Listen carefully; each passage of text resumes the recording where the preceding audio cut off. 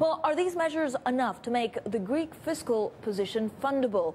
Or will we see another downgrade or even worse? Let's ask a rate strategist as I'm now joined by Nomura International's Charles Diebel. Charles, thank you so much for joining us. Now, in your note, uh, you say that, of course, these measures might not be enough, or you say the situation is concerning. Yeah, I mean, we're in a situation here where you, have to differentiate between some of the concerns over default and the, the, dire fiscal situation that Greece is currently in. We see very limited risk of Greece actually defaulting at this point. However, um, the, as we saw from the market reaction this morning, the, the plans that were announced yesterday do tend to concentrate on the revenue side rather than on the spending side.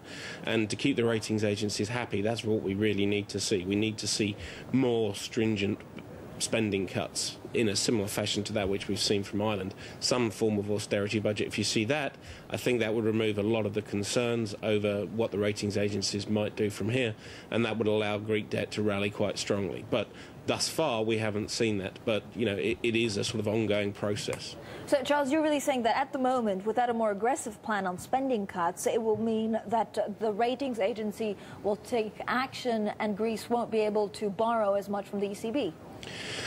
Um, well, I, I, don't think that, that, that, that's quite the likely scenario. I, I, I think that unless they take more stringent action on the spending side, there is a chance that the ratings agencies downgrade them. They may wait, wait and see because, as I say, this is a process that's going to take several months.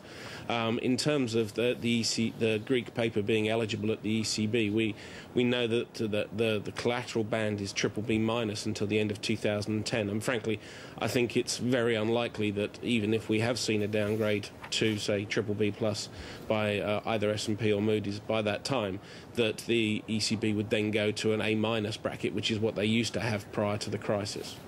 So, Charles, basically, you also think that we should differentiate between what is worrying but by no means catastrophic fiscal situation and market pricing.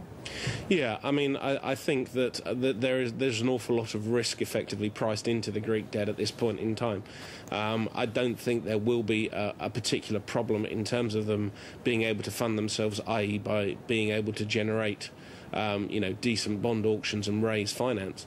Um, the, the, the real dichotomy at the moment is that there are other European nations that are in an equally bad condition uh, that are not really suffering the same sort of pressure at this point in time.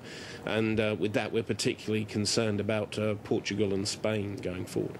Uh, Charles, do we need some kind of comprehensive plan in terms of what the EU could offer Greece today, or would that actually put a very dangerous precedent on other countries such as Portugal and Spain?